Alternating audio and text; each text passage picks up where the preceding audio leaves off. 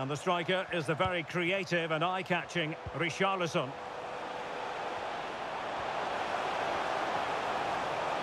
And still looking to get the shot away. Can he finish? Oh, he's done it! But hang on, offside is the verdict here. It's not going to stand. Well, you can tell he thought he was onside here, but the assistant, I think, got it absolutely right.